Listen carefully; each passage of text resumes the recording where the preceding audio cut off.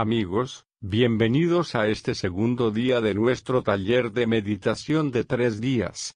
Como expliqué ayer, la idea de tener estos talleres de meditación es que nosotros, en el camino espiritual, no solo hacemos la charla sino que también hacemos la caminata.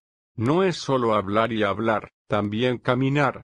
Por eso, dado que el camino espiritual es un camino vivencial, no es un debate académico, realizamos estos talleres de meditación para que puedan tener experiencias personales.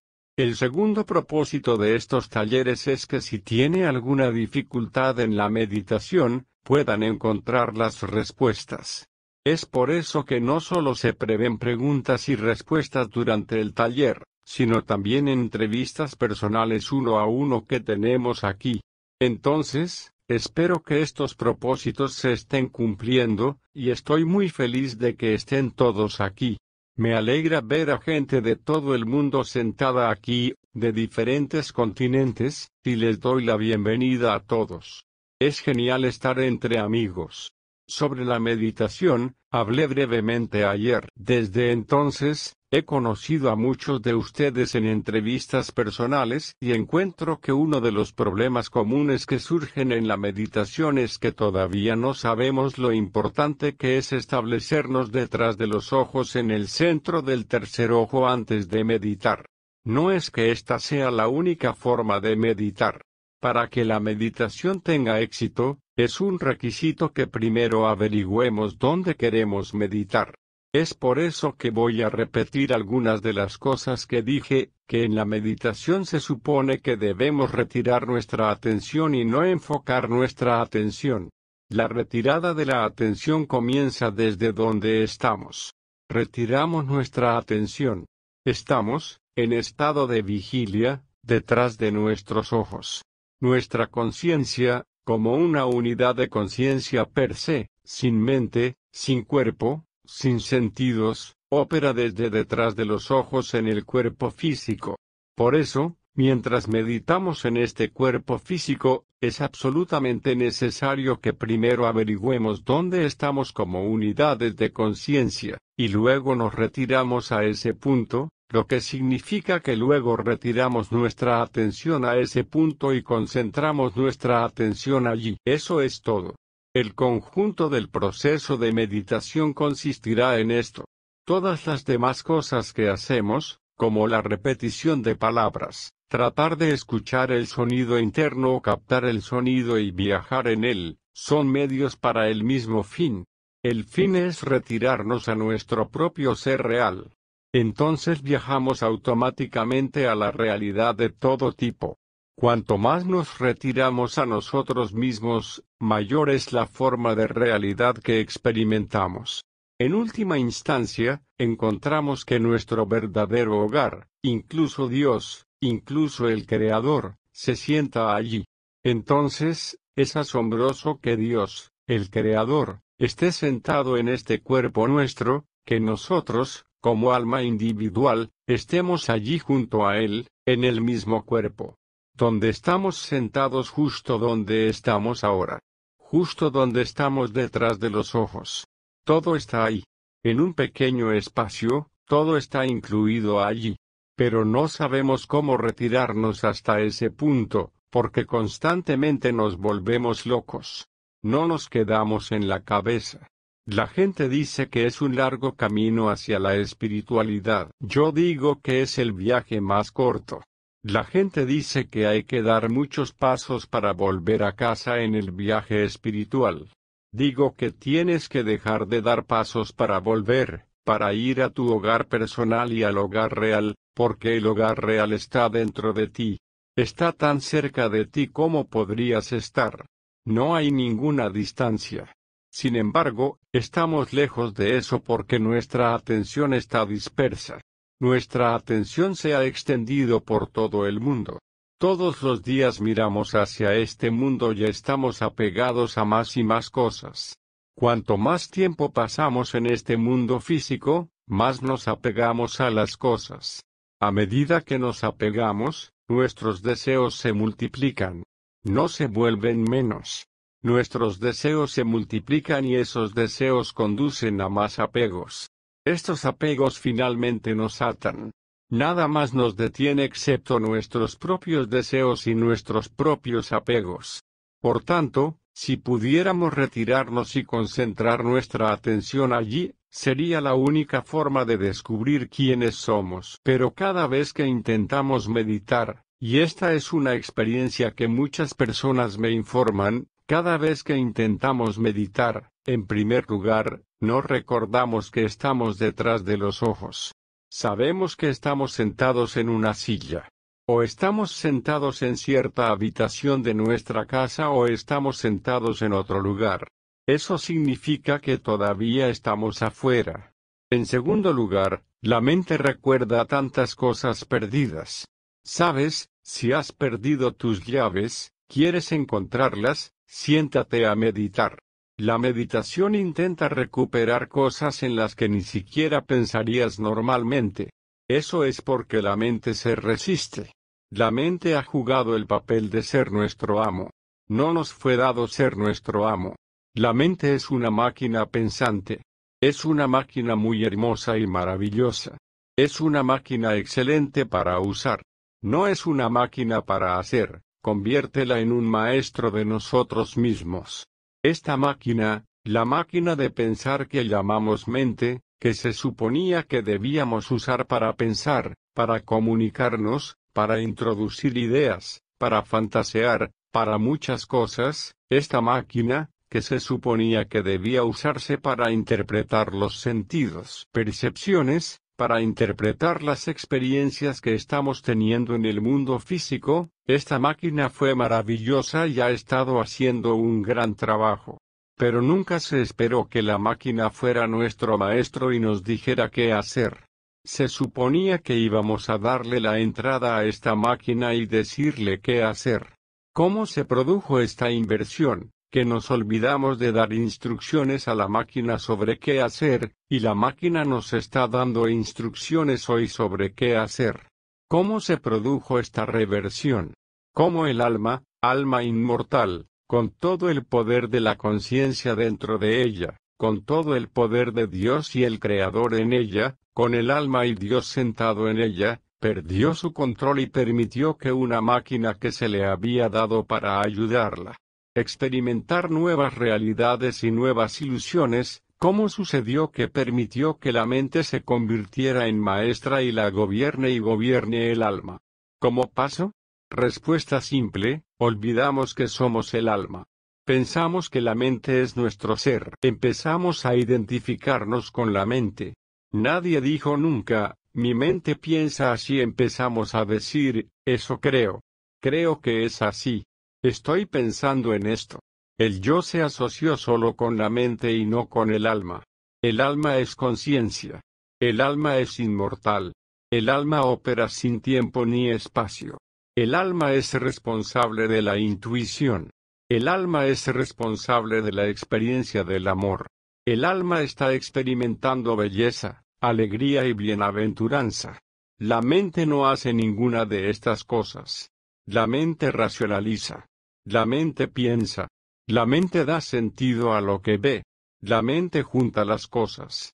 La mente puede usar la lógica, tanto inductiva como deductiva. La mente puede hacer todas esas cosas. Pero la mente no puede producir amor. La mente no puede producir intuición. La mente no puede producir gozo y dicha. Perteneció al alma desde el principio y todavía pertenece allí. Siempre que tenemos una experiencia de amor en este mundo, no proviene de la mente.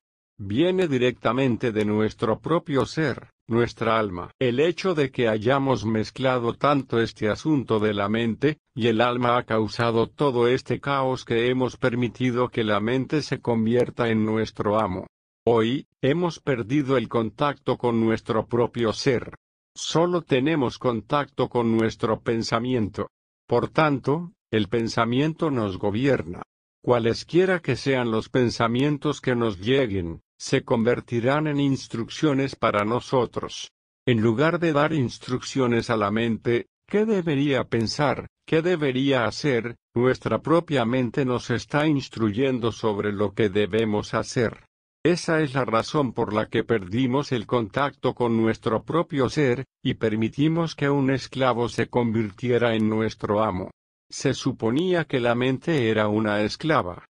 Seguimos adorando los seis centros debajo de nosotros, centros especialmente establecidos para servirnos, centros que estaban destinados a proporcionar la energía para nuestras experiencias aquí, los centros que se suponía que nos iban a decir que puedes ver afuera y crear nuevas experiencias. Puede tener una energía maravillosa en diferentes partes de su cuerpo, en diferentes partes de su relación con el mundo.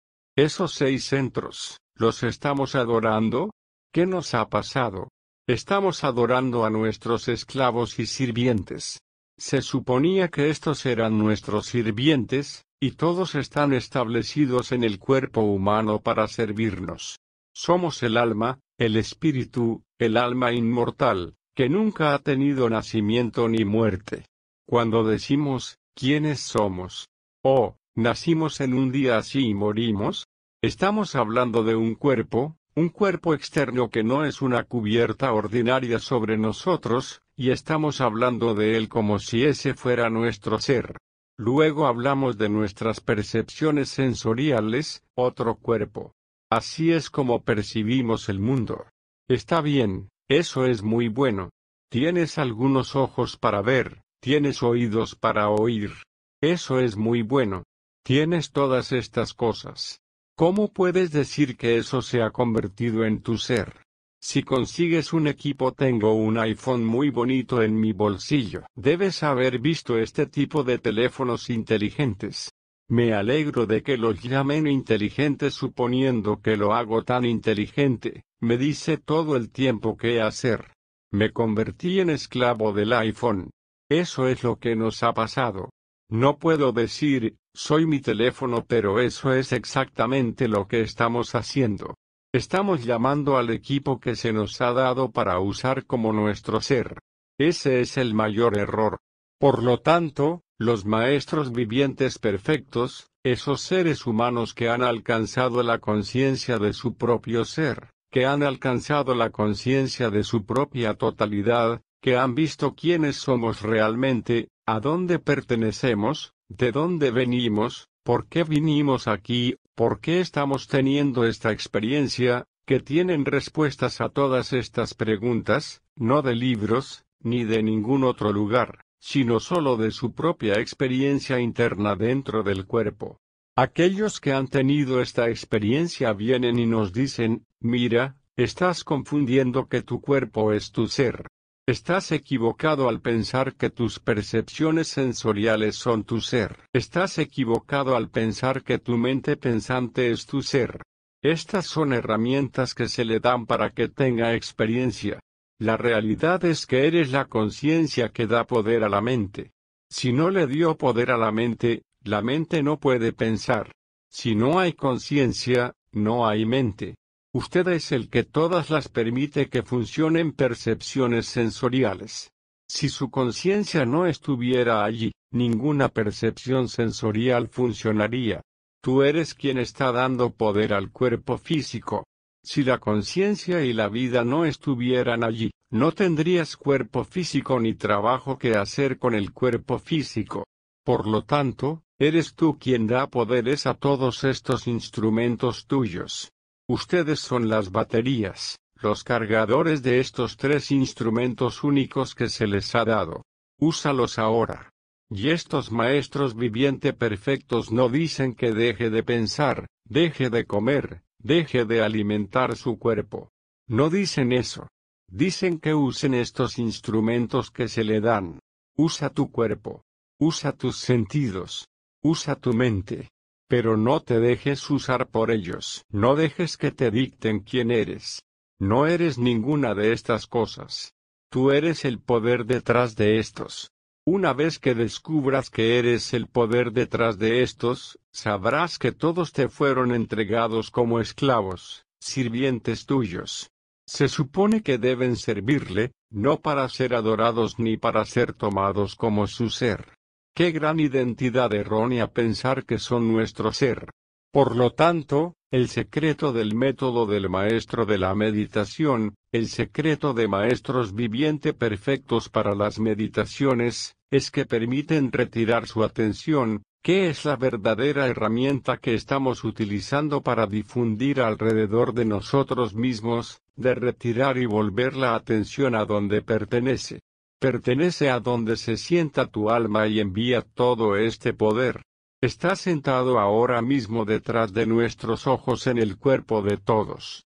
Por supuesto, cuando suba más arriba encontrará que los cuerpos han sido creados por la misma mente que crea todas las experiencias. Al final del viaje, viaje espiritual, se da cuenta de que no somos tantos, somos uno solo. Todos participamos de una conciencia total. Nunca nos hemos separado de ella. Seguimos participando en eso.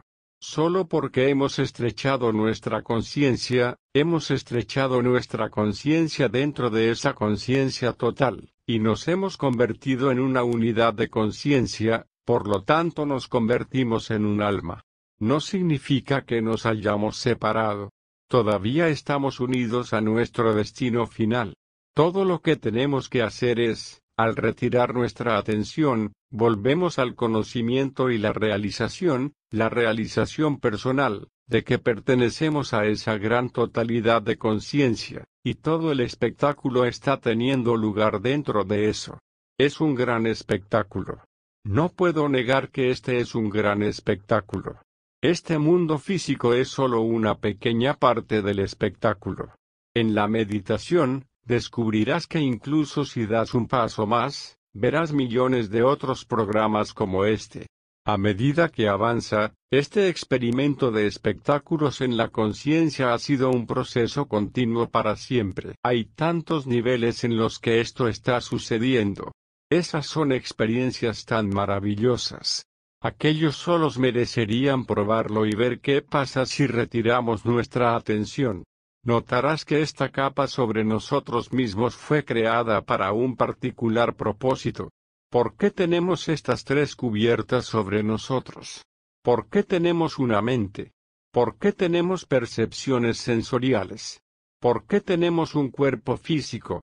El propósito era crear una experiencia más sólida, si se me permite decirlo, crear una experiencia de un tipo diferente a la experiencia de la conciencia en otros niveles. Por lo tanto, para crear una solidez en esta experiencia, se le dio un cuerpo material como disfraz, juegas con este disfraz y usas estos anteojos y se verá así. Ahora llevamos esos cuerpos con ese propósito. Este cuerpo humano es un disfraz que llevamos. Nos permite desempeñar bien nuestro papel en el espectáculo que se ha montado.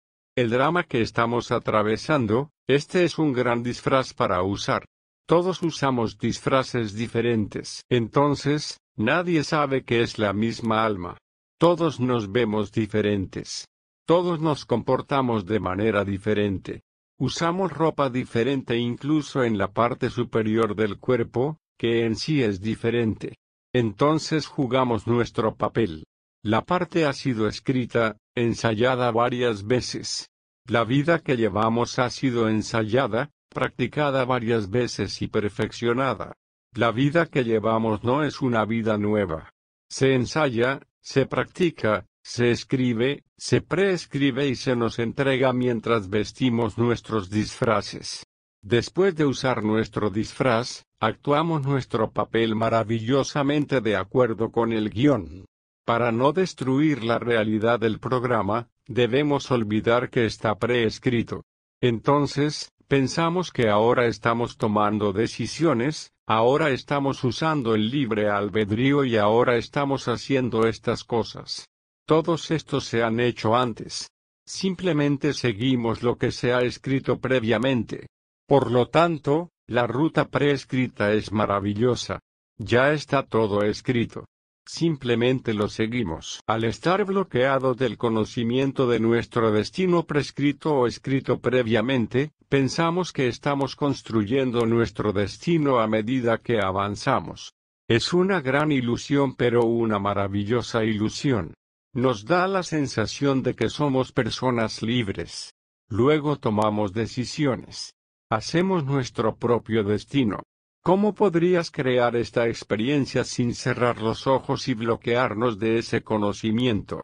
Hemos bloqueado suficientemente bien el conocimiento de cómo se hace para que obtengamos la experiencia del libre albedrío. ¡Qué maravilloso dispositivo! Luego, además de eso, nos han dado más disfraces para realzar el valor de esta experiencia. ¿Por qué deberíamos tener esta experiencia? Vivíamos felices en nuestro hogar. La totalidad de la conciencia es un área de amor, dicha y totalidad de conocimiento e intuición. ¿Por qué tuvimos que dejarlo en primer lugar? Por la sencilla razón, si ves lo contrario de algo, siempre lo aprecias más. La gente viene a mí y me dice, lo pasamos muy mal. Pero cuando pasa el tiempo difícil, los buenos tiempos se ven mucho mejor. ¿Por qué dicen eso? Si no hubiera oscuridad, no habría apreciación de la luz. Si no hubiera infelicidad en nuestra vida, no habría apreciación de la felicidad. Si siempre fueras feliz, ni siquiera sabrías que lo eres. No hay nada con que comparar. Por lo tanto, estamos aquí para experimentar algo en el mundo de la dualidad, en el mundo de los pares de opuestos. Estos pares de opuestos constituyen nuestra experiencia aquí. Regresamos a un mundo donde no hay opuestos. Por lo tanto, cuando regresamos a casa, hay tantas almas individualizadas que todavía nadan en ese gran estanque de conciencia total. Nos preguntan, ¿Por qué eres más feliz que nosotros? ¿Cómo es que todos bailamos de alegría, las almas que aún viven en nuestro verdadero hogar, en Sakan, bailan de alegría porque siempre están felices, y regresamos y bailamos aún más. Saltamos aún más alto. Dicen, ¿qué te pasó? ¿Cómo eres mejor que nosotros? Estamos todos en el mismo lugar. Les decimos no sabes lo que te pierdes porque no aprecias lo que tienes. No tienes nada que comparar. Hemos visto el otro lado. Por lo tanto, podemos apreciar más. Ese es todo el propósito de toda esta gran creación. La creación ha sido diseñada de tal manera que cumple todos sus propósitos. La perfección de esta creación solo se puede ver desde arriba. Cada pequeño elemento que ves aquí es imperfecto. Pero cuando lo juntas y ves todo el espectáculo desde arriba, es absolutamente perfecto. No hay forma de que puedas mejorarlo. Se han realizado todos los experimentos para modificarlo, para mejorarlo. Se han realizado todo tipo de experimentos, y todavía se están realizando, en diferentes partes de esta creación para mejorar su rendimiento. Sin embargo, lo que ha salido es tan perfecto que creo que si regresa no verá nada que pueda hacer para mejorarlo. Entonces, todos estos pares de opuestos que han sido creados por ilusión, no significa que estemos viviendo en una ilusión. Algunas personas piensan, oh, este mundo es una ilusión. ¿Por qué qué estamos haciendo aquí? Eso no es cierto. Esta es la realidad. De hecho, es la única realidad. No conocemos otra realidad. ¿Cómo podemos hablar de ilusión cuando no conocemos ninguna otra realidad? Este mundo es nuestra única realidad. En un momento, solo podemos tener una realidad. Cuando nos vamos a dormir por la noche y tenemos un sueño, eso se convierte en nuestra única realidad. No sabemos nada sobre el estado de vigilia. Si conociéramos el estado de vigilia y el estado de sueño al mismo tiempo, el estado de sueño no parecería una realidad en absoluto. Tampoco nos asustaría. Tampoco nos daría la felicidad que da hoy. No podría haber experiencias agradables o desagradables en un sueño si estuvieras despierto al mismo tiempo. Por lo tanto, al apagar la experiencia de la vigilia mientras soñamos, el sueño se convierte en realidad. Cuando nos despertamos, el sueño se vuelve irreal. Solo se vuelve irreal cuando nos despertamos. No es real mientras soñamos. De la misma manera, esta realidad sigue siendo una realidad hasta que vamos al siguiente paso, y luego esto se vuelve irreal como un sueño, y eso se convierte en la única realidad. Luego damos un paso más, eso se convierte en la única realidad, y todos los demás se vuelven como un sueño. Sueños dentro de los sueños. Luego pasamos a la etapa final y vemos todo el espectáculo montado. Ese es el único lugar desde donde podemos ver todas estas creaciones y realidades al mismo tiempo. Entonces no importa qué disfraz uses o no. Entonces estás a cargo de todo el espectáculo. Entonces te conviertes en uno con el creador, director, productor del programa. Por lo tanto, no importa qué disfraz uses, no importa si estás en cuerpo físico, cuerpo astral, cuerpo causal o individualizada alma o totalidad, tienes la misma conciencia todo el tiempo. Eso es lo que define a un maestro viviente perfecto. Un maestro viviente perfecto, habiendo obtenido esa totalidad de conciencia, está usando esa conciencia todo el tiempo, incluso si es un ser humano como nosotros. Eso marca la diferencia. Porque entonces Él puede, en cualquier momento, vernos más de lo que podemos vernos a nosotros mismos. Él puede guiarnos a través de nuestros propios viajes espirituales de una manera que nadie más puede hacerlo. ¿Cómo puede un ciego guiar a un ciego? Por lo tanto, una persona despierta que continúa despertando sin importar cuando estemos durmiendo, solo Él puede ayudarnos a ir y despertar más, despertar más hasta que finalmente estemos despiertos a nuestro verdadero hogar. El viaje a nuestro verdadero hogar es un viaje de sucesivas vigilias. Por tanto, nos despertamos de una etapa a otra. Todo nuestro propósito de este taller de meditación es practicar cómo podemos hacer eso. Para hacer eso, hago que parezca simple, porque es simple, pero también es difícil. No significa que las cosas simples deban ser fáciles. Las cosas simples se han vuelto muy difíciles debido a nuestra dependencia de la mente durante años y años, millones de años hemos confiado únicamente en esta mente. La mente ama las cosas complicadas. La mente nunca ha amado las cosas simples. La mente piensa que cuanto más complicada es una cosa, más valiosa es. Las cosas simples son demasiado simples para que las aprecie. Por eso la mente quiere cosas complicadas. Los maestros viviente perfectos se dan cuenta de ello. Por lo tanto, nos dan las instrucciones adecuadas. Cuando nos inician, ya nos han garantizado el regreso a casa. Asumen la responsabilidad. Si han asumido la responsabilidad, ¿por qué deberían dar instrucciones después de eso? No tienen que dar ninguna instrucción. Dicen, está bien, eres iniciado. Yo soy responsable. Te llevaré de regreso a Sakan, a tu verdadero hogar. Ese debería ser el fin del asunto. No, proceden a decir cómo meditar. Proceden a decirle qué hacer, cómo escuchar el sonido, cómo hacer esto, cómo sentarse en él en este tiempo o en ese tiempo. Dan instrucciones detalladas. ¿Para quién son estas instrucciones? Tu alma no necesita instrucciones. Tu alma ha estado anhelando volver a casa desde que llegó aquí. El anhelo del alma por volver, volver a casa, no se ha creado hoy ni en ningún otro día.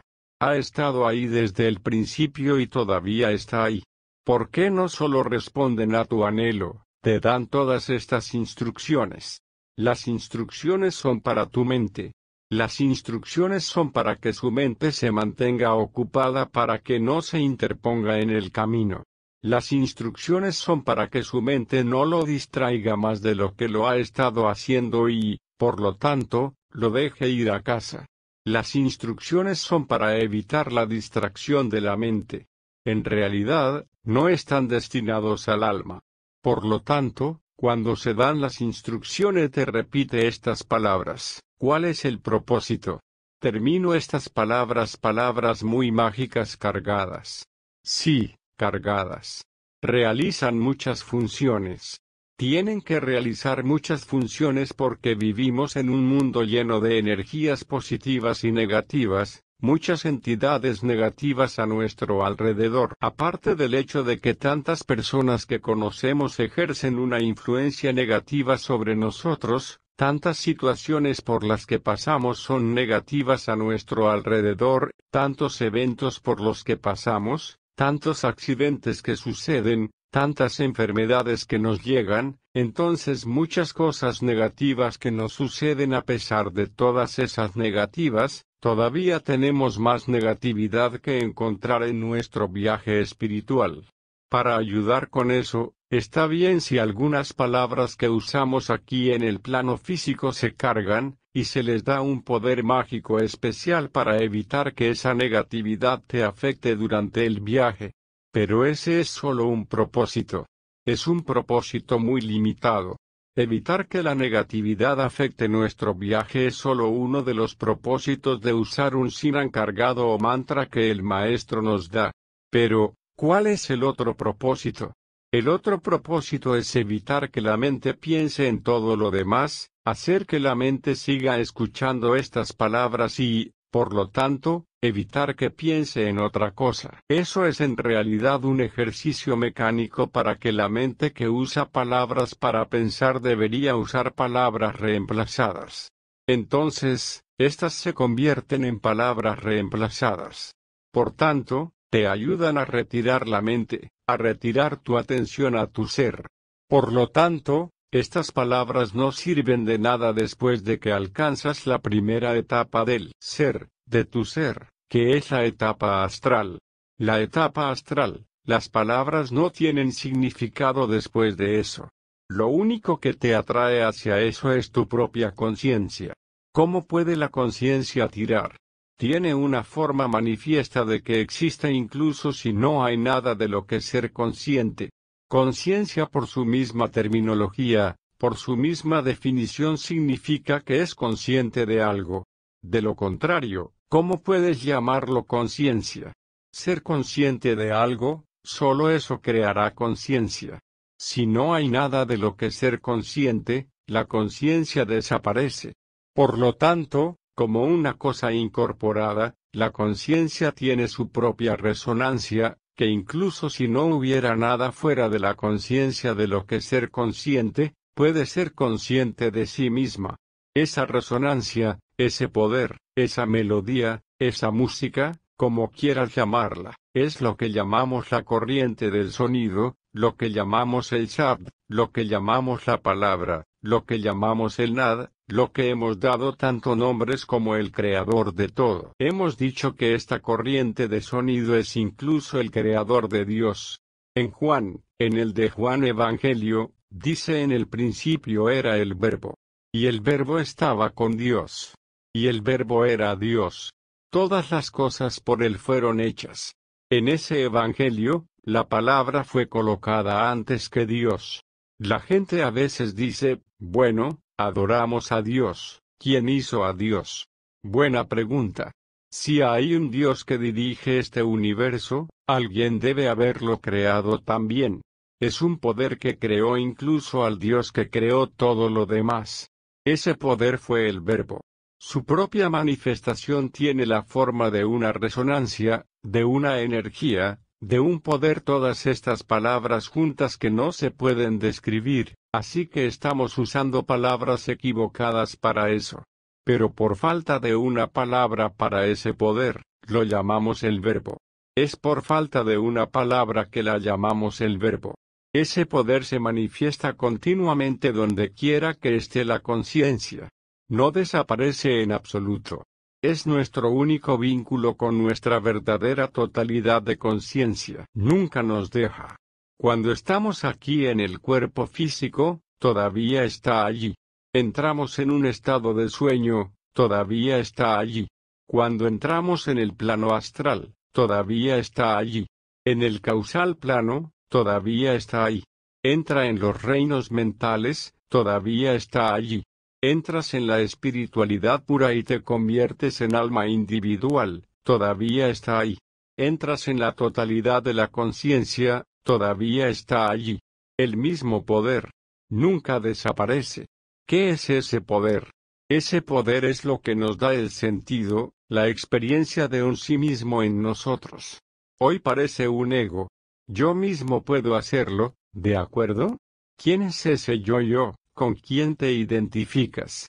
Suponiendo que tu rostro cambie. Suponiendo que te vuelvas viejo.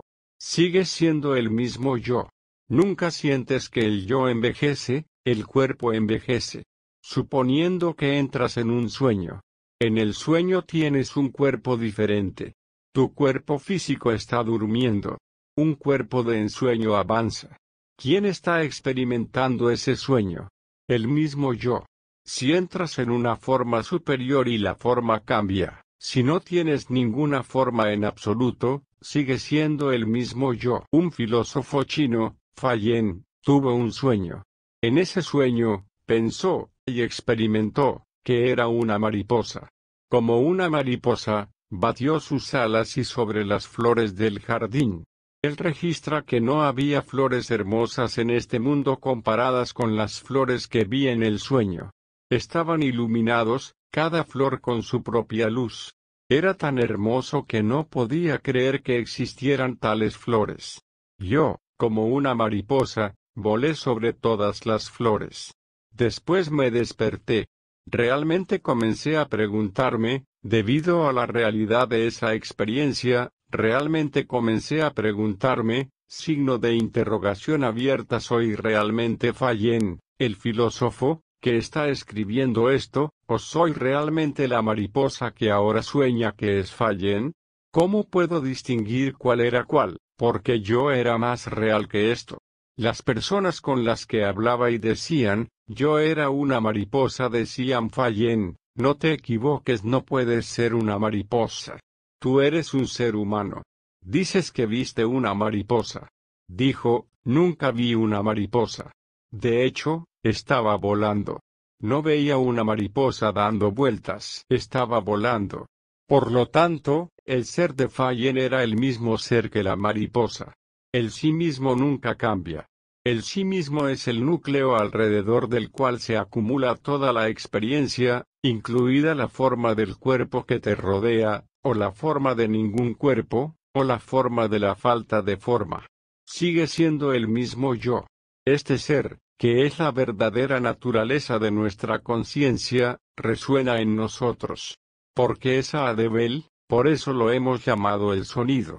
La única razón por la que hemos llamado el gran poder de la creación en un sonido es porque puede ser escuchado, en ciertos niveles. Se puede escuchar a todos los niveles. Se puede escuchar incluso en el cuerpo físico. Porque se puede escuchar, por eso lo llamamos corriente de sonido a Adebel. Es solo una forma de describir un poder que no se puede describir. Pero como se puede escuchar y podemos escucharlo, es un gran vehículo para volver a casa. Sabemos que está conectado todo el tiempo para respaldar nuestro hogar. Es la única conexión que nunca se rompe. Si se rompiera, estaríamos muertos en todos los niveles. Nunca se rompe. Eso es lo único que sostiene todas nuestras formas. Por lo tanto, la corriente de sonido Adebel no es simplemente un sonido. Es el poder creativo que creó todo, incluyéndose a sí mismo. En uno de sus poemas, grabado más tarde, por Swami Agra, dice que este Sabd, este sonido lo ha creado todo. Sabde Darti Sabde Akash luego dice, Sabde Vaya Prakash eso significa que el Sabd creó el mundo, la luz, el Sabd creó el cielo, el Sabd creó esto. Y luego dice, Sabde Sabd Prakash incluso Sabd fue creado por Sabd. Incluso él mismo fue creado por el mismo poder. Dice que no existe nada fuera de él. Todas las cosas se experimentan dentro de eso. Solo porque podemos escucharlo en el cuerpo físico, y hemos reducido su calidad a un sonido, nosotros, por el bien de la instrucción a la mente, por el bien de las instrucciones para la mente, y el alma sentados en un cuerpo humano, decimos, escuche ese sonido no olvide que el sonido no es un sonido. Para empezar, solo parece un sonido. Cuando captas el sonido y subes, se transforma. Es el verdadero camino real hacia su hogar, un camino que nunca ha sido bloqueado. No hay atascos en esa carretera. Entonces, es un camino real como diría alguien y por eso, ese camino es el que nos gusta tomar. Para llegar a ese camino, que no podemos escuchar porque hemos escuchado demasiadas cosas afuera, hemos dirigido nuestra atención hacia afuera. Está sonando en cada uno de nosotros ahora mismo. Cada uno de nosotros tiene la capacidad de escuchar ese sonido ahora mismo. ¿Por qué no lo escuchamos? Porque estamos acostumbrados a escuchar cosas externas. Hemos puesto toda nuestra atención, el 100% de nuestra atención, afuera. No prestamos atención por dentro. El propósito de la meditación es retirar esta atención y traerla al interior. Si ve la imagen completa, cómo fuimos creados. ¿Por qué estamos aquí? Estamos aquí para un espectáculo, un espectáculo bien diseñado. Esto sigue y sigue. Lo hemos hecho eterno. He dicho que lo hemos logrado. ¿En qué etapa lo hicimos? No lo hicimos aquí. Nunca quisimos hacer nuestra vida eterna aquí. Algo nos pasó. En nuestra delegación, en nuestro descenso de nuestra totalidad a este estado, en algún momento sucedió algo que perpetuó este espectáculo. Si quieres saber qué pasó, es una historia muy interesante. Mucha gente ha intentado escribirlo. Esto no se puede escribir. Pero lo han intentado porque lo que leemos aquí en nuestros libros tiene sentido para nosotros solo cuando se relaciona con cosas que conocemos en el mundo físico. Si alguien habla de algo que no existe en el mundo físico, no tiene sentido. De hecho, no tenemos un idioma para escribir eso. Porque todo el lenguaje que existe aquí tiene relevancia, y hace referencia a las cosas que existen aquí, en el mundo físico. No podemos escribir algo, en ningún idioma, que no esté relacionado con experiencias en el mundo físico. Por tanto, escribir sobre algo, sobre una experiencia que aquí no existe en absoluto, es imposible. Y sin embargo queremos escribir. Queremos hablar. Entonces, la única forma de hacerlo es haciendo historias, alegorías, símiles, parábolas, esa es la única forma de describirlo, de hacer historias que nos resulten relevantes porque utilizamos los símbolos de este mundo para describirlo. Entonces, cuando usamos símbolos de este mundo, solo usé algunos, dije que cuando volvamos a casa, las almas que todavía están allí, a quienes llamamos prohibiciones y las almas que se van de aquí después de esta experiencia, a quienes llamamos Hans todos están bailando. ¿Cómo puedes bailar cuando no hay espacio ni tiempo? Pero estoy usando la palabra bailar porque no conozco otra forma de describirlo. Entonces, estamos usando el idioma local para describir algo que nos es ajeno. Pero, de todos modos, para describir este descenso de la totalidad de la conciencia a nuestro estado actual, algo sucedió en el camino que rompió la unicidad de esta experiencia, que rompió la única visita que íbamos a hacer, actuar una vez y regresar, algo sucedió que creó la perpetuidad y creó la eternidad en esto, en esta experiencia. ¿Qué pasó? Lo que sucedió fue que, en el momento en que se individualizó el alma, y lo llamamos, en nuestro, en nuestras secuencias de etapas de ascenso y descenso, lo llamamos astral sarir o sarir físico, aquí cuerpo físico, lo llamamos astral o suksam sarir, lo llamamos causal o karan sarir, lo llamamos par bravo el lugar individual más allá de la creación de tres mundos, entonces lo llamamos sacando el verdadero hogar. Estos nombres se dieron en la India, y se están volviendo populares también en la literatura occidental, me doy cuenta. Ahora bien, estas etapas son solo significan, hay un mundo de universo físico, mundo material, hay un mundo astral de solo percepciones sensoriales, hay un tercer mundo solo de la mente, de imágenes mentales, hay un mundo de espiritualidad, que es la primera experiencia espiritual donde no existe un mundo material, y luego hay un mundo de totalidad donde solo hay uno. Cinco simples etapas. Ahora, en estas cinco etapas de conciencia, y en la parte superior, no hay problema. Podemos sumergirnos en una experiencia cuando queramos. Vamos una vez y volvemos. En la segunda etapa, individual alma, no hay problema. Podríamos quedarnos. Es una buena manera de individualizarse, de ver a muchos fuera del uno, y volver atrás y convertirse en el uno. No hay problema.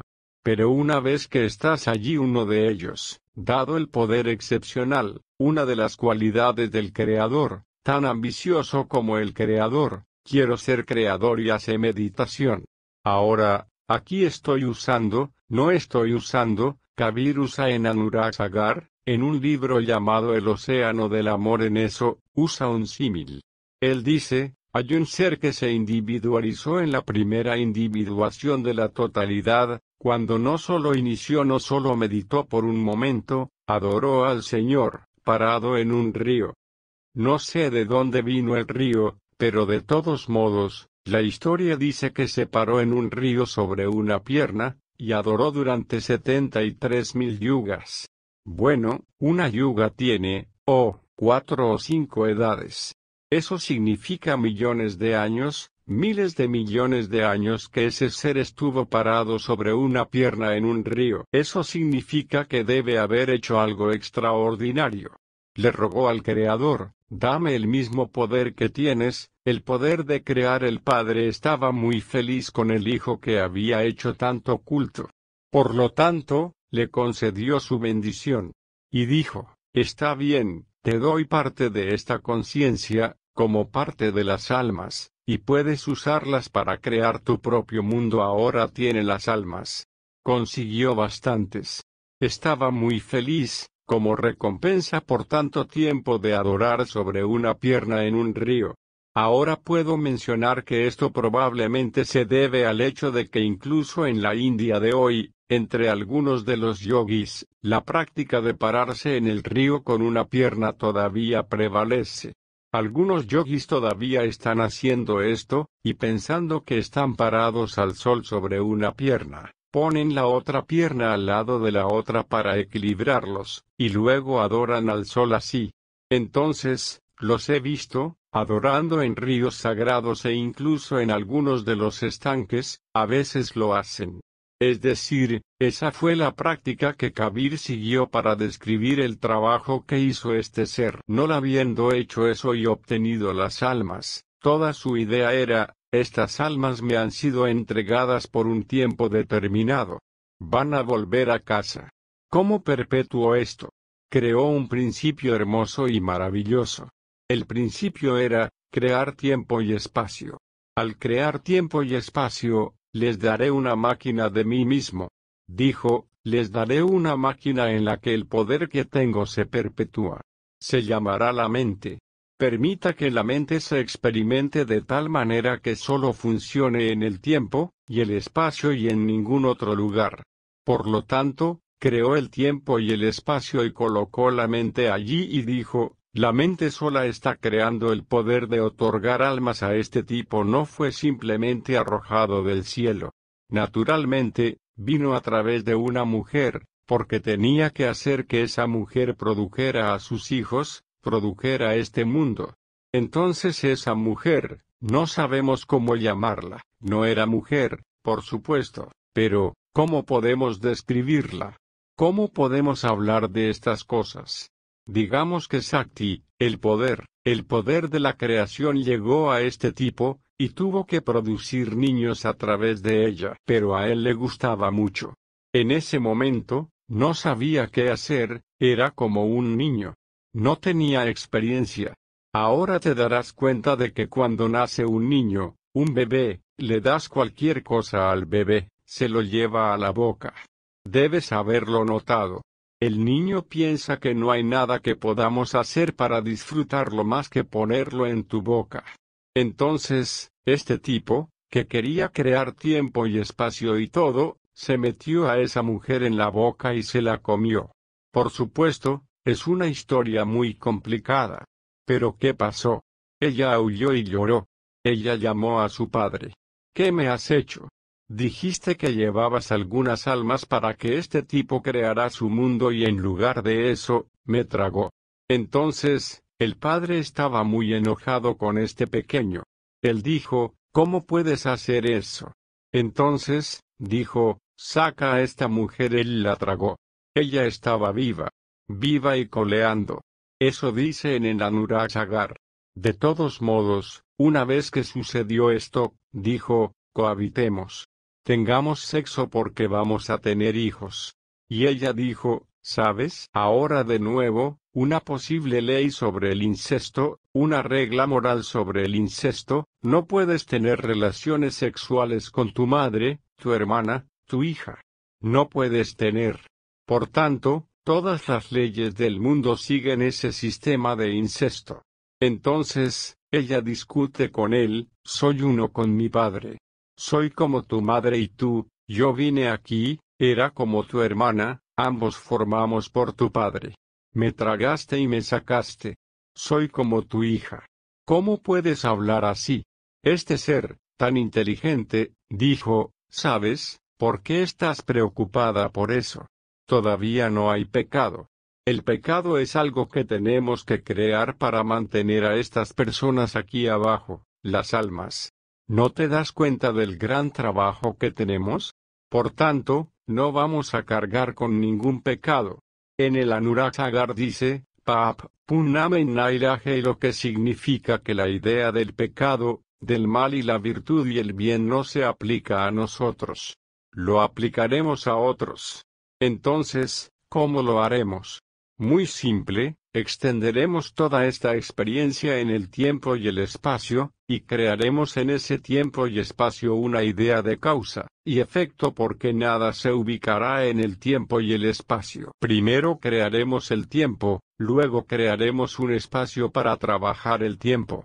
Luego, colocaremos los eventos en el tiempo. Haremos que la gente pase por los eventos, y cada evento será como una causa, y su resultado será un evento y el evento causará una causa, la causa será un evento. De esta forma, estarán aquí para siempre. Así nació la ley del karma. A partir de entonces, él, este poder negativo con el padre estaba tan enojado que dijo, Nunca te volveré a ver. Estás desterrado de mi vista.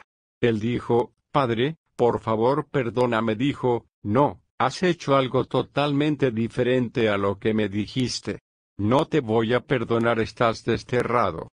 El pobre hombre, el poder negativo, su propia alma personal retirada, se ha convertido simplemente en un poder, el poder de crear tiempo, espacio, poder de crear karma, poder de crear mentes, que son de su propia individuación y luego colocarlas en todo.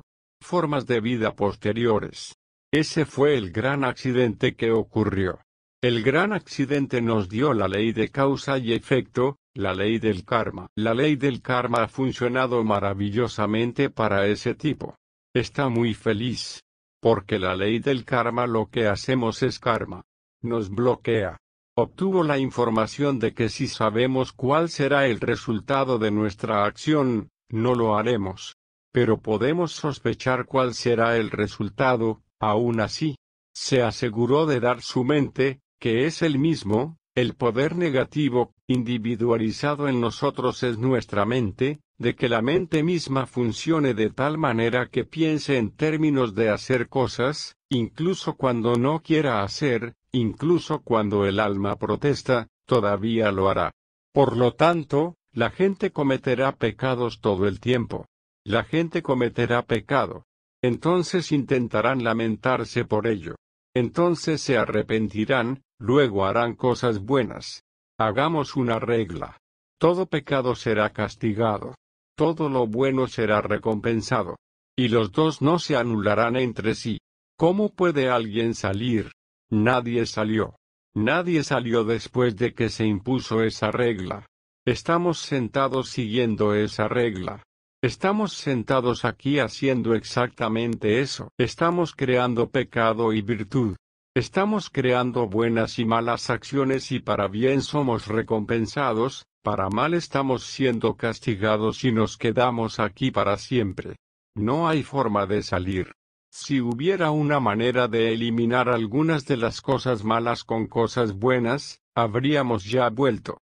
Pero no podemos hacerlo, tanto es así que esta ley del karma es tan fuerte que incluso si vas al estado más alto mediante una serie de buenas obras en varias vidas, todavía no puedes borrar lo suficiente como para volver atrás. Por eso, el señor Krishna, un avatar de Vishnu en la mitología india, en la religión india, le está diciendo a Arjuna en el campo de batalla de Kuruksetra en el Mahabharata y el Gita, le dice a Krishna, esta ley del karma es una verdadera esclavitud que tenemos.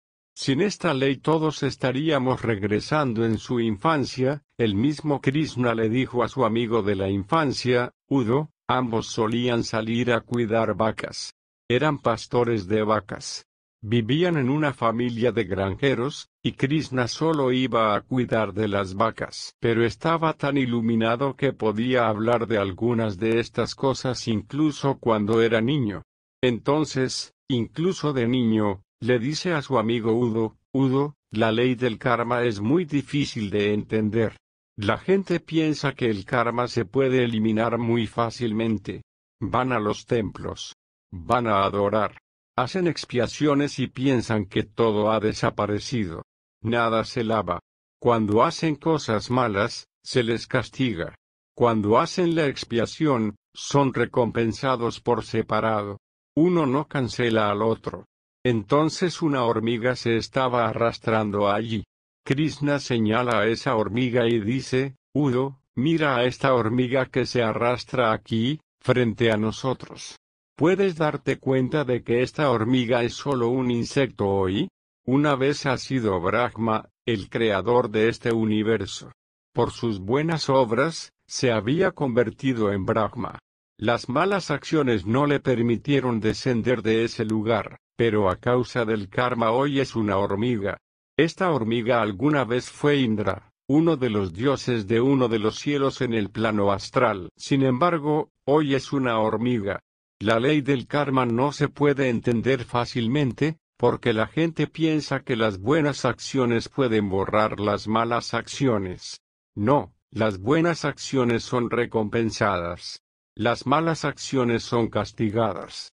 No importa si obtienes recompensa o castigo, estás atrapado aquí. Entonces, ¿qué es la salvación? ¿Te das cuenta del extraño tipo de mundo que se creó en el que no había escapatoria? La ley del karma aseguró que estaremos aquí para siempre. Y luego, para empeorar las cosas, otro elemento se agregó a la ley del karma. Eso era tener una reserva de karma. Eso significa, suponiendo que hagas buenas y malas acciones, entonces las juntas. Tienes otra vida. No puedes acomodar todo lo que hiciste. Está bien, no importa.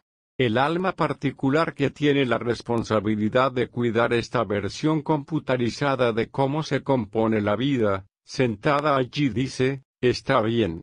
Bueno, puedo ocuparme del 40% de lo que hiciste. Mantendré el resto en reserva para usarlo en una vida posterior. Entonces, pone ese 60% en reserva. Esa reserva se llama Sinchit Karma, mientras que las acciones que realizamos ahora se llaman Kriyaman Karma. El uno o Pralabdha Karma. Pralabdha es con lo que nacemos. El destino que nacemos es Pralabdha, el destino. Lo llamamos destino o karma del destino. Lo que hacemos aquí es Kriyaman o nuevas acciones que creamos que conducirán a una reacción más tarde. Si no se puede acomodar, van a una reserva llamada karma de Sinchit. Hemos construido reservas tan enormes. Ese poder negativo nuestro sentado arriba está muy feliz, muy contento. Estos muchachos no tienen la oportunidad de volver a casa en esta situación, dígame, estamos atrapados en esta situación. Muchos de nosotros, estoy seguro de que todos los que estamos sentados aquí, en la estructura de nuestra alma, cuando éramos individualizadas almas que descendían a este reino para esta experiencia, debimos rogarle a nuestro Creador, nuestro Padre, por favor, nos estás enviando en una expedición de la que no tenemos conocimiento. Queremos ver eso. Amamos la aventura. Queremos ir a por la aventura. Pero suponiendo que nos atrapen ahí, ¿qué nos pasará? El Padre nos dio una bendición. Dijo, no se preocupe. Si no te gusta la trampa de este tipo que la está haciendo, no te preocupes. Vendré yo mismo y te llevaré de regreso a casa. No se preocupe. Todo lo que tienes que hacer es, en ese estado, cuando te sientas harto del programa y digas, no quiero quedarme más en esto, ya he tenido suficiente. Quiero ir a casa. Cuando busques así, vendré yo mismo y te llevaré de vuelta a casa. Esa promesa se hizo a un gran número de almas, pero no a todas. De hecho, un número muy pequeño. De la totalidad de las almas que existen allí dicen que alrededor del 10% como máximo obtuvieron esta seguridad. Nosotros, sentados aquí en este auditorio hoy somos parte del 10%. Porque somos buscadores. Todos hemos venido aquí a buscar. Por lo tanto, nos dio una promesa. ¿Cómo está cumpliendo su promesa? Porque cuando hizo la promesa de que él mismo vendría y nos llevaría de regreso a casa, ¿cómo interfiere con la gran bendición que le ha dado al poder negativo para crear este mundo? Entonces, el poder negativo tuvo que hacer un trato con él. Está bien, dice el poder negativo, ¿quién creó esta ley del karma, y la ley del tiempo y el espacio? Dice. Olvídate de que te lo cuente como una historia, pero no se puede contar de otra manera. No lo tomes literalmente. No es una historia literal, no sucedió literalmente, pero es solo una forma de expresarse. Por cierto, al hablar con Darandas en Anurasagar, Océano de Amor Kabir también le recuerda una, y otra vez que no lo tomes literalmente, Solo intento utilizar una forma de historia para describir algo. Entonces, el poder negativo dice, mira, me diste esta bendición. ¿Cómo puedes quitarme la bendición? Él dice, no te voy a quitar la bendición, solo voy a hacer cumplir mi promesa a ese 10%, una pequeña cantidad de almas, que se convertirán en buscadores en su dominio, y quiero eliminarlas. El poder negativo dice, te das cuenta, si viniste al mundo y todos te ven que el Señor mismo, el Creador, ha venido aquí, todos volverán. ¿Cómo los detendrás? Él dice, no, no, no. Usaré el mismo disfraz que le has dado a otras personas. Vendré como un corriente ser humano. Vendré de una manera tan ordinaria que nadie podrá encontrarme, excepto el buscador. Solo los buscadores lo sabrán y yo los cazaré. Iré a buscarlos donde están. No te preocupes. Él dice, ¿puede darme algunas ventajas más para asegurarme de que mi sistema no falle?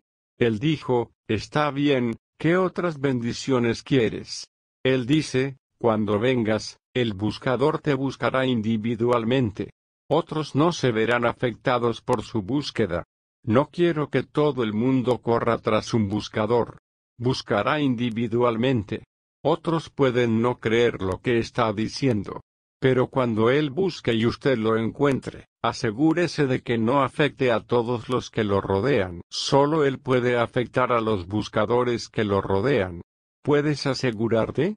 El Señor dice, sí, ponlo en medio de los buscadores. Asegúrese de que todos los escépticos lo rodeen. Él dice, en segundo lugar, asegúrate de que este tipo olvide su vida pasada y olvide lo que hizo, y que no sepa nada, cómo llegaste, cómo sucedió, cuál es la ley del karma, cómo funciona. Debería olvidarlo. Está bien, concedido está bien, la tercera cosa es que no realizarás públicos milagros para mostrarle a la gente que eres diferente a los demás.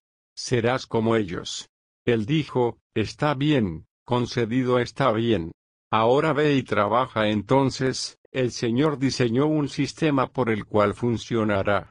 Él dijo, La mejor manera es hacer que esa alma, una sola alma, se ilumine y trabaje en mí, reemplace esa alma por mí. ¿Cómo se hará? Dándolo todo a través del cual ha pasado la creación, y al hacer eso, hacer que trabaje para mí. Crearé un ser humano, un común ser humano, como cualquier otra persona, pero con el conocimiento de quién es, con el conocimiento justo está trabajando arriba. Él reconocerá que Él no es el ser humano que está trabajando, es Dios mismo quien está trabajando. Él tendrá una experiencia personal de eso. Luego irá y recogerá las almas por métodos humanos ordinarios, y no perturbará al resto de la creación. Entonces, se creó todo el sistema por el cual los maestros vivientes perfectos vinieron. ¿Cómo funcionaron?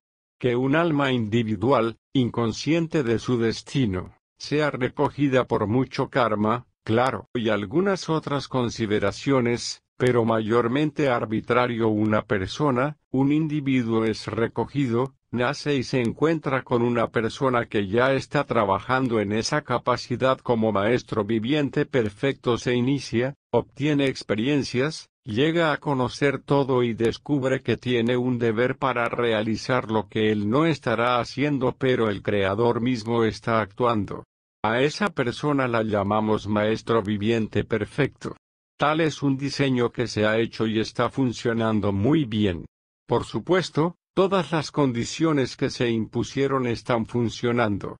Aún así, cuando un maestro viviente perfecto llega, en el sistema del tiempo y del espacio, no puede venir para siempre porque tiene que venir como ser humano. No puede venir a todos los lugares porque un ser humano no puede servir a todos los lugares. Está diseñado para venir a cierta área donde se encuentran aquellos que buscan almas tiene que recoger las almas que recogerá.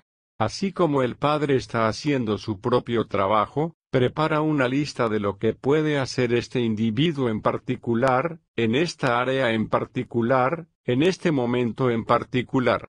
Se hace una breve lista. La lista corta contiene la lista de los nombres de aquellas almas que van a ser recogidas, entregadas a ese ser humano y él mira esa lista y dice, estas almas están encarnadas en estos lugares porque no está usando sus ojos. No está usando su mente. No está usando su cuerpo. Está siendo guiado por el poder total de la conciencia para recoger esas almas donde están. Diseña incidentes en la vida, altera destinos si es necesario, altera destinos desde ab initio, si es necesario, para asegurarse de que esas almas entren en contacto con Él. Cuando entran en contacto, por supuesto, están acosados como todos con sus mentes. Todos tienen dudas, miedos, escepticismo. No le importa. Él dice, eso no es, ese es el papel del poder negativo. Ese no es mi papel. Divide el papel en dos partes, el papel de Cal, el tiempo, y el papel de Dial, el misericordioso, el que ha venido a traernos de regreso. Y divide los dos roles. Dice, no tengo nada que ver con el papel de la mente. Mi papel es con el alma. Voy a llevarme el alma a casa. No me llevaré el cuerpo a casa. No voy a llevar la mente a casa. No voy a tomar nada más. No voy a llevarme este mundo a casa. Mi papel se limita a llevar el alma marcada a casa por tanto, por coincidencia sí, y extrañas peculiaridades del destino, aquellas personas marcadas que están en la lista, tienen algún tipo de contacto y él les concede un formal contacto llamado iniciación. Es algo formal porque está en la lista. Cuando alguien lleva una lista y está obligado a recoger a esa persona, ¿cómo puede decirse que tiene que seleccionar a alguien? Están preseleccionados. Ya están en la lista. Pero él hace la formalidad y hace las formalidades de las instrucciones, de las iniciaciones, de estas cosas, ese es el papel de un maestros viviente perfectos. Se sorprenderá de cómo funciona este sin problemas este sistema. Por lo tanto, Él hace su trabajo, lleva las almas a casa. En el proceso, por supuesto, porque Él tiene el mismo poder, Tiene en su conciencia el mismo poder, muchas otras almas vienen a escucharlo. Entonces, muchos lo llaman por el solo hecho de que está allí. Pero no son todos a los que llama los que se lleva a casa. Tiene que llevarse a casa a los elegidos. ¿Y los demás? ¿Qué pasa con los demás que tienen la extraña experiencia de entrar en contacto con un maestro viviente perfecto? Están marcados desde entonces. No puede ser de la misma persona, no de los mismos maestros viviente perfectos. Pero es probable que también se inicien, y pertenecen al mismo 10% que regresará a casa. Les conté estas largas historias y las olvidé, yo mismo olvidé que estamos aquí para meditar. Volvamos al tema real. Lo real, estas, estas historias a veces satisfacen nuestra mente. Estas historias están destinadas a nuestra mente. Todos los detalles externos de los que hablamos están pensados para nuestra mente. Si nuestra mente está satisfecha, no interfiere demasiado con nuestro progreso. De hecho, si la mente está satisfecha, incluso se convierte en una ayuda en la meditación. Por eso el primer paso de la meditación es el más difícil. Solo ir adentro y ver algo más hermoso, más delicioso, más sabroso que lo que está afuera, es la parte más difícil. Una vez que lo alcanzas, incluso a la mente le gusta. A la mente le gusta y por eso te ayuda en la meditación. Hasta entonces, la mente resiste y sigue creando obstáculos. ¿Cómo crea obstáculos? El principal obstáculo es que, en la meditación, te hace pensar en otras cosas, y no en el camino que estás siguiendo. Si estás tratando de meditar, aparecerán la mayoría de las cosas en las que no quieres pensar. Por supuesto, también te traerá cosas en las que quieras pensar. No le permite permanecer en un lugar donde está meditando, que está detrás de los ojos. Te aleja. De repente sientes que estás en otro lugar. Tienes que retroceder una y otra vez. Entonces la mente juega una carta de triunfo. Quiero decirte antes de que meditemos la carta de triunfo de la mente. La carta de triunfo de la mente es que te obliga a salir de ese espacio pensando en otra cosa y luego luchas contra ella, dices no y regresas. Luego, una vez te alejas, te fuerza, la obligas a retroceder. Allí. Vuelve, tengo que meditar aquí. Luego piensa en algo lejano, empiezas a pensar en eso, tu atención va allí. Entonces luchas contra ella y la traes de vuelta. Luego, después de una hora, dos horas, tres horas, diez horas de meditación, estás totalmente exhausto. Porque has estado peleando todo el tiempo. Y no tienes nada. Estuviste peleando todo el tiempo. Estabas ganando cada pelea, pero la mente ganó la batalla. El trabajo de la mente era mantenerte en la batalla, y lo consiguió. Por lo tanto, esa es una herramienta muy grande que usa la mente para evitar que tengamos éxito en nuestra mediación. ¿Cómo lo manejas? El manejo es sencillo. Se necesita un poco de experiencia, un poco de delicadeza, un poco de diplomacia en cierto modo con la mente. ¿Cómo lo hacemos? No intentamos luchar contra la mente. Tratamos de ignorar la mente. Si la mente está pensando en algo, tú haz tu parte. Yo estoy aquí.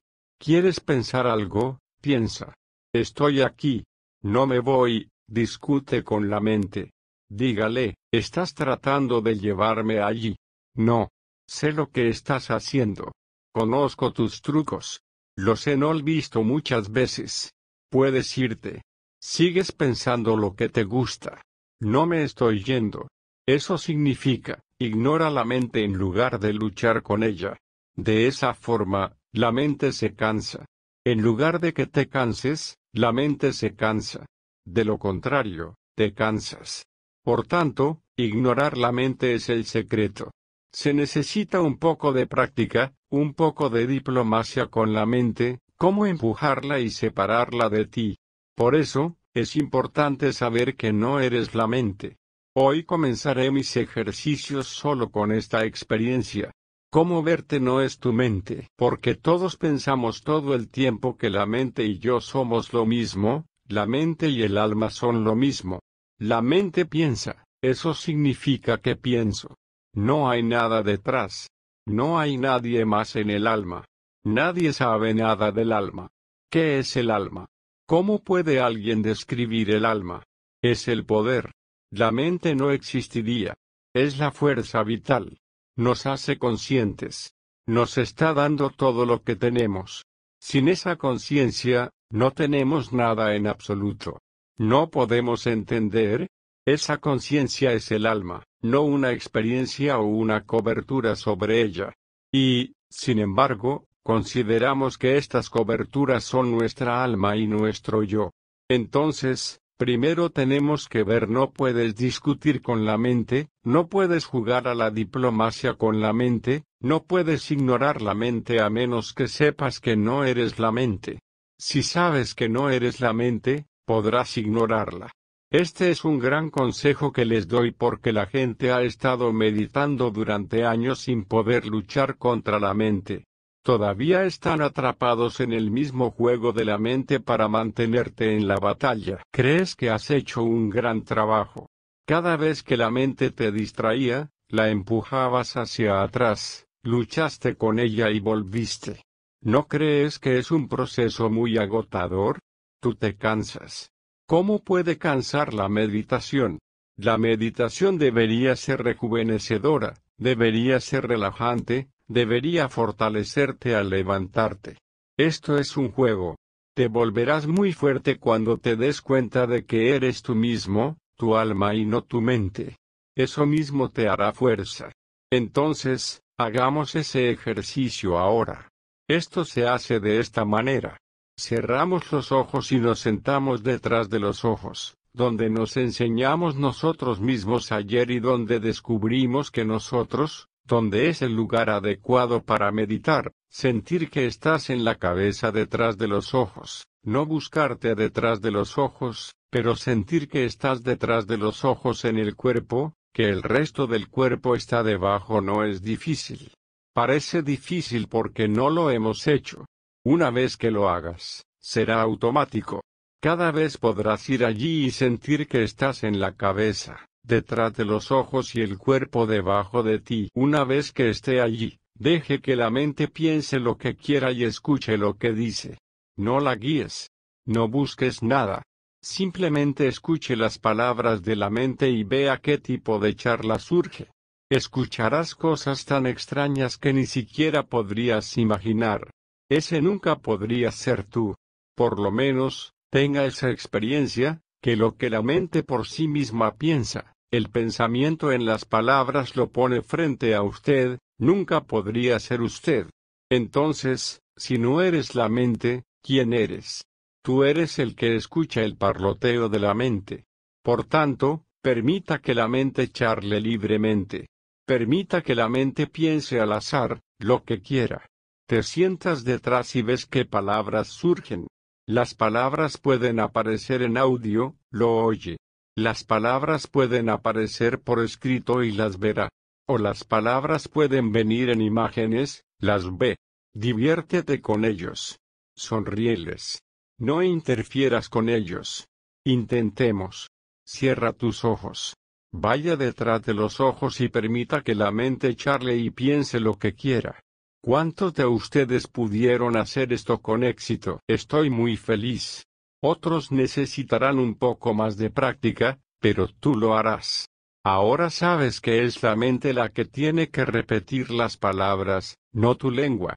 Eso en sí mismo toma un poco de tiempo para practicar. De lo contrario, dado que siempre hablamos con la lengua, la tendencia es siempre decir nuestras palabras con la lengua. Pero, como Kabir dice en otro poema suyo, no en Anurag en otro poema, Dice, si repites con la lengua déjame si no te importa, citaré el original. Yo traduciría.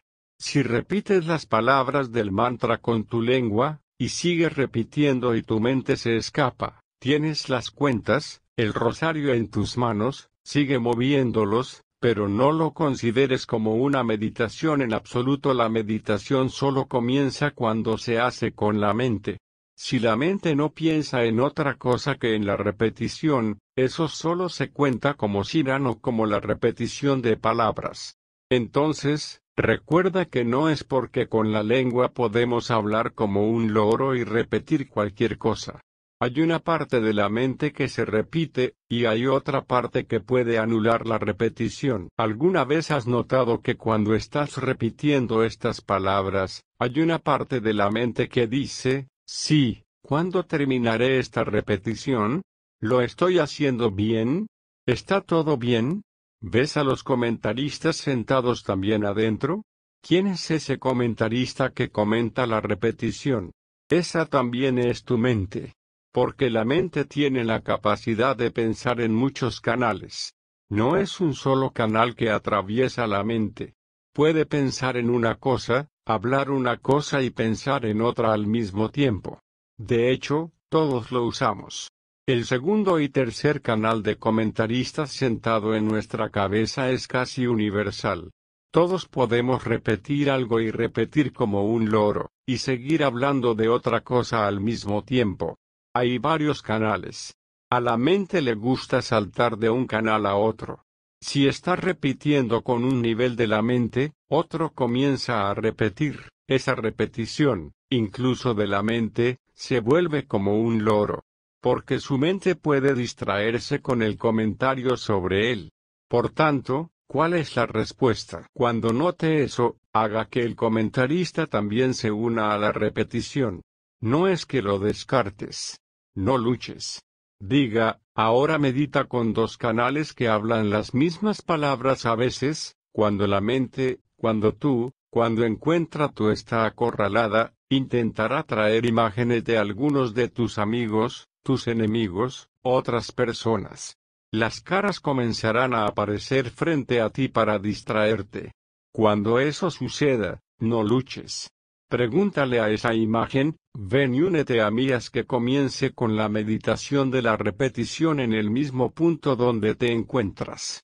Así que lo que ocurre, las dos voces tuyas, una voz de un invitado hablando, y escuchas las tres. Si obtiene más imágenes, permítales unirse. Puede tener un coro de meditadores sentados dentro de su cabeza haciendo meditación. Es solo una mente haciendo meditación. Por lo tanto, todos estos trucos del oficio deben aprenderse para tener éxito en la meditación. Entonces, me alegro de que tantos de ustedes hayan hecho esto. Haremos un seguimiento de nuevo un poco más tarde. Entonces, les contaré una pequeña historia. Una pequeña historia que quería compartir. Leí en algún lugar que en una escuela, una escuela perteneciente a una iglesia, el maestro quería poner la idea de Jesucristo, y de Dios, en los niños a una edad temprana, para que aprendieran acerca de la religión, acerca de Dios y vivir su vida en consecuencia, para darles una buena base religiosa. Entonces, ese maestro preguntó a los niños en la escuela, ¿saben dónde está Dios? ¿Sabes dónde vive Jesucristo? Un niño dijo, lo sé. Jesucristo vive en mi corazón. El maestro estaba muy complacido. Dijo otro niño levantó la mano y dijo, lo sé. Jesucristo vive en todas partes. El maestro estaba muy complacido. Se le preguntó a otro tercer niño. Dijo, Jesucristo vive en nuestro baño. El maestro se sorprendió. ¿Qué quieres decir? Él dice, todas las mañanas, cuando mi mamá se está bañando adentro, y mi papá llama repetidamente a la puerta, y él dice, Dios mío, ¿todavía estás ahí? Está bien. Tomaremos un descanso. Amigos, antes de romper para este breve descanso, les conté un chiste. Todos rieron.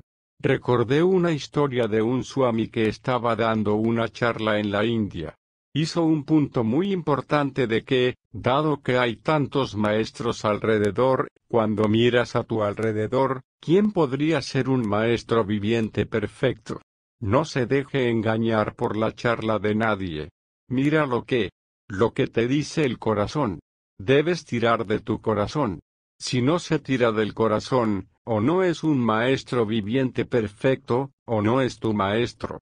No asuma que el mismo maestro puede ser un maestro para todos.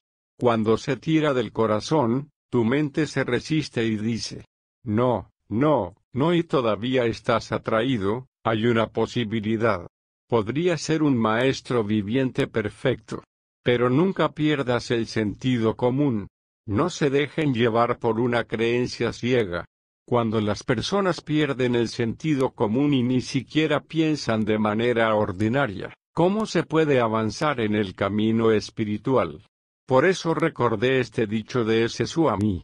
Dio un ejemplo. Dio un ejemplo de que un día otro Swami, está hablando de otro Swami que pretendía ser un Swami de verdad, estaba dando una charla en la India a sus discípulos, y a un tipo que caminaba afuera de una pequeña tienda bajo la cual este Swami estaba dando una a hablar.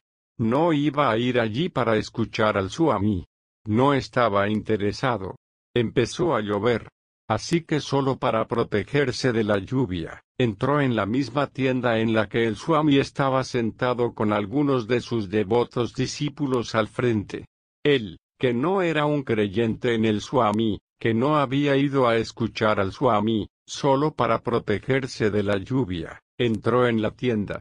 Escuchó al Swami decir estas palabras, y luego fui al bosque y vi un león. Todos los discípulos dijeron, entonces, ¿qué pasó, Swamiji?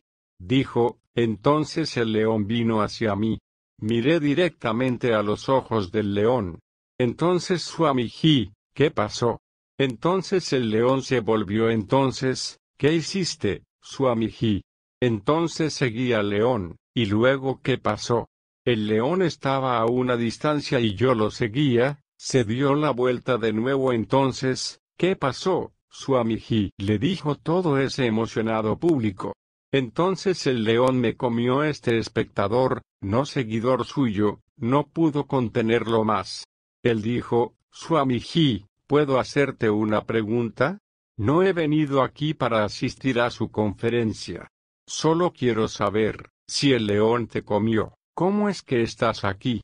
El Swami le dijo, ¿crees que estoy vivo? Estoy muerto. Ahora, aquí hay un Swami tratando de dejar claro que a veces, cuando no estamos iluminados, somos como personas muertas. Pero la historia que contó, en el camino, el león me comió y empiezas a creer cualquier cosa así, su amigino, no vayas tras esas cosas. Quiero decir, piénsalo con calma y tenga sentido común. El mismo Swami dijo que un hombre vino de otro maestro, de Bangalore o de algún lugar, y dijo, yo y mis otros seguidores de ese maestro tenemos plena fe en ese maestro. ¿Tus discípulos tienen esa fe? Si mi amo dice, salta de esta casa, desde arriba lo haré. ¿Alguno de tus discípulos puede hacerlo? El maestro dice, no, mis discípulos no harán eso. Dirán, maestro, salte primero. Entonces saltaremos. No se debe perder de vista el sentido común ordinario que se nos ha concedido como otro regalo. Como saben, con frecuencia digo que tenemos muchos sentidos. Tenemos ocho sentidos. Los cinco sentidos son sólo de percepción. Los sentidos de la percepción crean nuestra experiencia de este mundo. Luego está un sexto sentido, que dicen que las mujeres tienen más y los hombres lo dudan. Pero de todos modos, el sexto sentido es la intuición, el sentido intuitivo que les hace conocer cosas que ni siquiera existen en los cinco sentidos. Se supone que es superior a los cinco sentidos. El séptimo sentido es más alto que estos seis sentidos. Eso es sentido común, resulta ser muy poco común. Pero sigue ahí. El sentido común significa que debe poder distinguir entre el grano y la paja. Debemos saber qué es real, qué es importante y qué no. Establece tus prioridades en la vida. Si tienes sentido común, siempre puedes saber, a través del sentido común, que esto es importante en la vida, debo anteponerlo a otras cosas. Esto no es tan importante. Puedo ponerlo después. Esta capacidad de priorizar cosas en su vida proviene del sentido común. Nunca debemos renunciar a ese sentido común, y establecer las prioridades adecuadas en nuestra vida, porque nadie puede hacer todo. Por lo tanto, debemos elegir lo que es más importante y prestar más atención a esas cosas. Pero el séptimo, séptimo sentido es tan importante todavía está anulado por el octavo sentido. El sentido más elevado de todos, el octavo sentido es el sentido del humor, la capacidad de reír. Si puedes divertirte y reírte de tu vida, si puedes ver la vida como un testigo, como un espectador y reírte desde todos los ángulos, estás usando tu octavo sentido.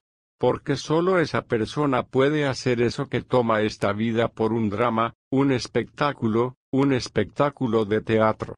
Solo esa persona que sabe que esto es solo un espectáculo en el escenario en el que estamos tocando y cada parte, buena o mala, alta o baja, es parte del espectáculo, entonces puedes sonreír y disfrutar del espectáculo. La gente compra un boleto por 7 dólares, 10 dólares para ir a una película, algunas de las películas monstruosas, películas de terror, ¿estamos dispuestos a pagar por eso? ¿No estamos dispuestos a pagar un pequeño precio por ver esta película de la vida? ¿Solo mirando desde el asiento correcto? Es cierto que nuestro cuerpo, el cuerpo físico, es actor en el mismo escenario. Es un gran, gran rompecabezas, que en esta película, no nos sentamos en la película, nos sentamos afuera y vemos la película en la pantalla. Aquí, esta obra de teatro es maravillosa pero asumimos que somos actores y que vemos, y actuamos en la película al mismo tiempo, en el escenario.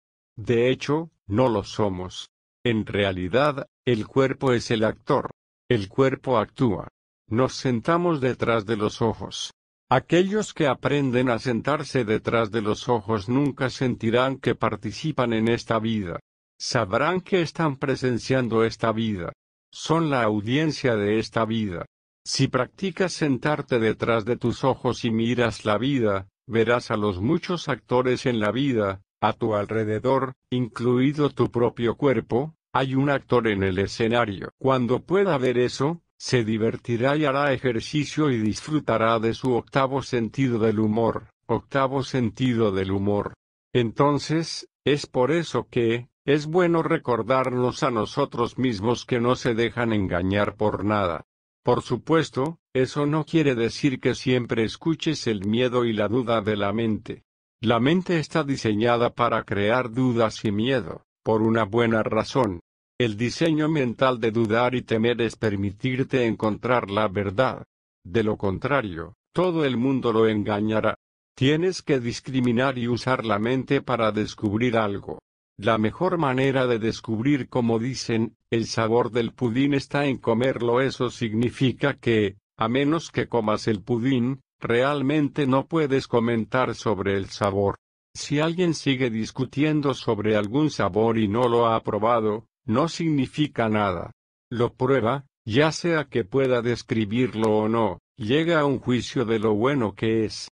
Por lo tanto, cuando se encuentra con varios maestros espirituales, maestros que enseñan varios tipos de prácticas espirituales, y se siente confundido por la multiplicidad de estos maestros, se pregunta qué debemos seguir, qué debemos hacer. Emplea tu sentido común.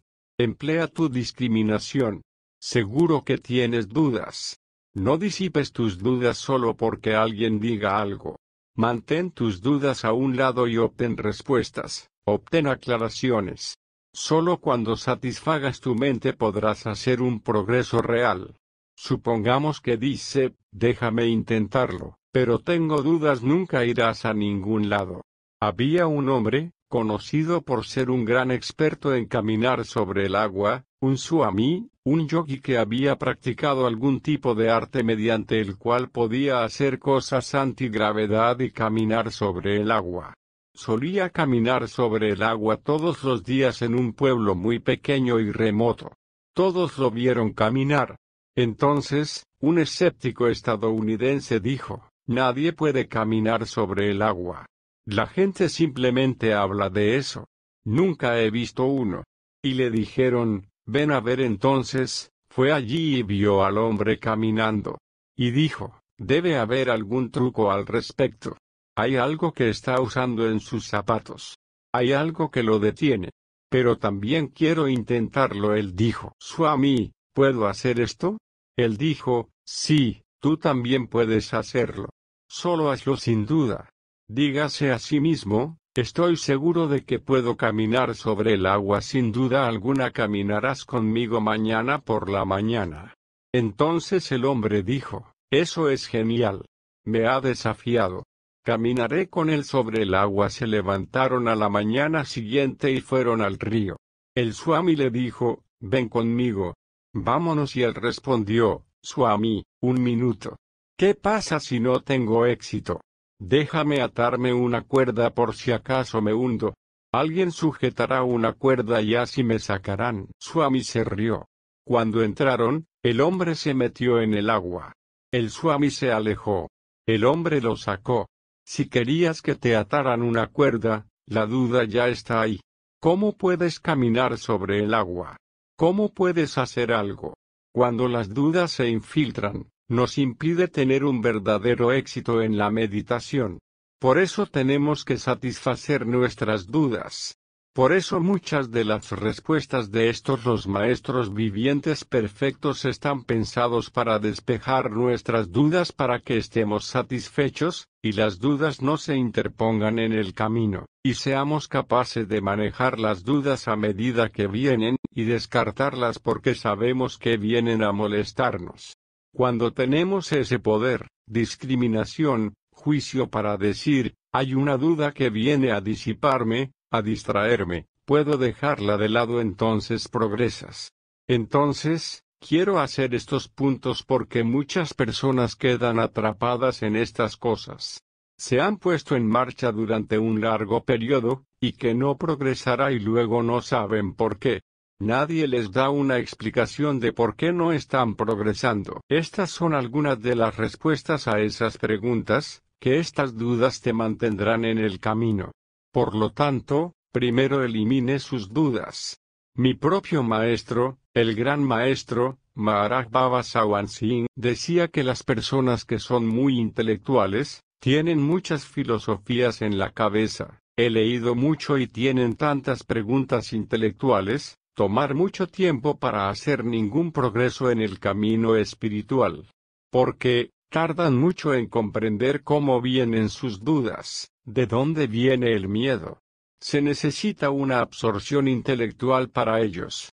Pueden absorber intelectualmente las enseñanzas de un maestro antes de que puedan progresar espiritualmente. Por otro lado, un tipo sencillo, que nunca leyó ningún libro, que viene de un pueblo, no tiene nada más que amor en su corazón, devoción en su corazón, el primer día salta y tiene experiencias de etapas superiores. No es porque su karma sea mejor o algo así. Es solo que la situación es diferente para el intelectual, llena de preguntas intelectuales que deben ser respondidas antes de que pueda progresar. El tipo que no tiene preguntas. No tiene preguntas. Por tanto, hace grandes progresos. Pero el intelectual, agregó el maestro, tiene una ventaja sobre el sencillo. ¿Cuál es la ventaja? Desde que ha pasado por todas las preguntas, desde que ha pasado por satisfacer su mente, la mente, después de eso, no perturba a este hombre y él progresa constantemente. El sencillo puede tener una experiencia muy rápida. Si pasa algo en su vida, en su destino, que no le gusta, como un accidente, la muerte de una persona cercana, un niño o alguien, cualquier mal incidente en su vida, su fe tiembla. Entonces, la fe de una persona, que es intelectual, se construye más tarde después de satisfacer la mente, pero permanece más tiempo.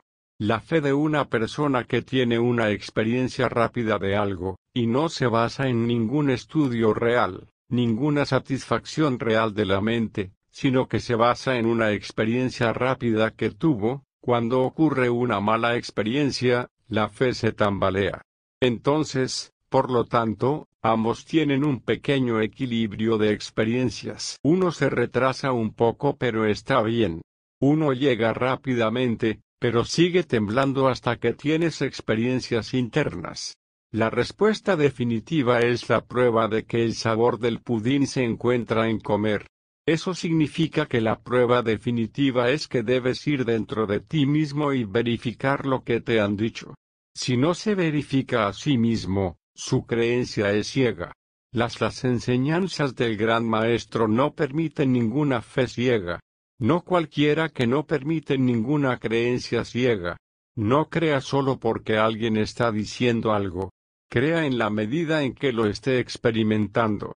Mejore su creencia, agregue más a medida que experimente más. Pero no se deje llevar por las declaraciones de alguien que no lo está haciendo. Lo dejo claro porque esta es una pregunta común. ¿Qué debemos hacer? Hay tantos maestros. Nos están confundiendo. No sabemos a quién seguir. Siga a su corazón. Siga por donde lo jalen. Dele una buena oportunidad allí. Puede que no sea un maestro viviente perfecto. Puede ser un maestro quien te introduce en el escenario, te introduce en el escenario espiritual interior. Puede que te lleve a la primera etapa, pero ha hecho su trabajo. Ese era su trabajo para llevarte allí. Entonces, tu búsqueda no termina. ¿No estás satisfecho? La búsqueda continúa, otro maestro definitivamente te encontrará. El secreto está buscando en tu corazón. Conoce el secreto. Si sigues buscando, no importa a qué amo te enfrentes o te encuentres, Él te llevará tan lejos como pueda y no más. Si su búsqueda es uniforme, incluso más allá de eso, encontrará al maestro adecuado, de hecho, el adecuado maestro lo encontrará a usted, sin importar dónde esté. No se preocupe. No hay margen de preocupación para una persona que es un verdadero buscador. Mientras siga buscando en su corazón, conocerá a maestros vivientes perfectos. No hay duda de eso. Esa ha sido la experiencia en mí, en toda mi vida. He visto en todo el mundo, en todo el mundo que encuentro, donde hay, donde quiera que haya un buscador, y los buscadores están en todo el mundo, en todas partes. No crea que está solo en un lugar, están por todo el mundo. También los maestros responden a esos buscadores en todo el mundo. Por lo tanto, si buscas, encontrarás. No hay duda al respecto. Entonces, volvamos al tema de la meditación. Practicamos un poco el uso del mantra sin interferencias. Ahora queremos hacer un poco más. Queremos ver si la repetición de palabras nos lleva a escuchar el sonido, de modo que debemos aprender a pasar de la repetición a la escucha del sonido. Estamos practicando la repetición de palabras, escuchando esas palabras. Esa es la práctica. La práctica no consiste en repetir las palabras. La práctica consiste en escuchar esas palabras mientras se repiten. Ahora cambiamos la escucha. Al escuchar las palabras, nos detenemos y comenzamos a escuchar la música. Si no hay música, sigue escuchando las palabras. Si hay sonido o música, cambiamos. Cambiamos al sonido que podemos escuchar. Si podemos escuchar el sonido por un momento, y luego desaparece o se vuelve demasiado tenue, vuelva a las palabras. Si el sonido continúa, permanezca en el sonido, Olvídese de las palabras. Hagamos este ejercicio ahora. Cierra tus ojos. Regrese al centro del tercer ojo detrás de los ojos. Estacione usted mismo allí. Asegúrese de sentir que está ahí. Empiece a repetir las palabras. ¿Cuántos de ustedes pudieron hacer el cambio exitosamente en esto buen número? Necesita práctica, un poco más de práctica. Recuerde, hay dos tipos de autos. Uno se llama tracción trasera. Uno se llama tracción delantera. ¿Cuál es la diferencia entre los dos autos? En la tracción trasera, el motor del automóvil empuja al automóvil desde atrás. Todo el automóvil se mueve con la potencia del empuje que da el motor a través de las ruedas traseras. El automóvil de tracción delantera tira del automóvil desde el frente desde el mismo motor. Uno empuja para que progrese. El otro tira para hacerlo progresar. Lo mismo ocurre con estos dos métodos. El Sinan es un coche de tracción trasera. El Sinan, lo haces para empujarte hacia adentro. El sonido es un coche de tracción delantera. Te atrae con su propio poder y no porque estés dando un empujón. En combinación, puede encontrar cuál funciona en qué momento y utilizarlo en consecuencia. Use su mantra, use su sinan siempre que le dé impulso al sonido. El sonido solo te atraerá si es un verdadero sonido astral. Es un verdadero sonido astral que se origina en la región astral, y siempre está presente allí durante su estadía, es el único sonido que siempre atrae. Los otros sonidos se pueden utilizar para practicar. Yo los llamo sonidos de práctica. No mucha gente los ha llamado sonidos de práctica. A veces encuentro personas que han estado escuchando los sonidos de práctica durante toda su vida, y que creen que están escuchando el sonido. Ni siquiera se han acercado al sonido. Estos sonidos de práctica son creados muy a menudo por la simple mecánica del cuerpo físico el flujo sanguíneo que lo atraviesa, los latidos del corazón, la respiración y varios otros sonidos que ingresan al cuerpo. Y varios sonidos que no se escuchan salvo con concentración. Sonidos físicos. Estos sonidos físicos existen porque pones atención y los escuchas. Especialmente cuando está en un lugar muy tranquilo, estos sonidos se vuelven muy, muy fuertes. De hecho, se vuelven tan ruidosos que pueden ser una molestia. Un japonés meditador me conoció una vez. Me invitó a su experimental Adam, en un pequeño lugar cerca de Tokio, Japón, porque quería experimentar, si estamos en completo silencio y no hay nada que nos moleste desde afuera, signo de interrogación abierta nuestra alma ascendería automáticamente a las regiones superiores? Son los sonidos externos los que realmente nos distraen, y todo lo que necesitamos es un lugar tranquilo. Dijo que la gente en los viejos tiempos construía cuevas, se sentaba en las cuevas y no tenía ninguna perturbación y obtenían la salvación y la iluminación. ¿Por qué no podemos? Pero en la era moderna, inventó y construyó una cámara moderna hecha de vidrio en la que se eliminaba todo el sonido. Solo se permitió que entrara el oxígeno para respirar, en una cantidad muy medida sin crear ningún sonido en esa pequeña cámara hueca e insonorizada que hizo con vidrio. Trató de practicar ahí. Él me invitó. También me senté ahí. Si uno se sienta ahí, no tiene sonido del exterior. Pero puede escuchar los latidos de su corazón, incluso si no tiene palpitaciones. Puede escuchar su respiración mucho más fuerte que nunca. Puede escuchar los sonidos internos del cuerpo que nunca antes había escuchado. Por lo tanto, el hecho de que piense que solo porque está en un lugar silencioso puede ser arrastrado a cualquier lugar, no funciona. Descubrió después de ese experimento, tan grande, vidrio, cámara de la nueva especie de moderna vigésima segunda cueva siglo, no funcionó. Entonces, el sonido que realmente tenemos y que nos atrae es de otro tipo. Se encuentra detrás de los sonidos del cuerpo.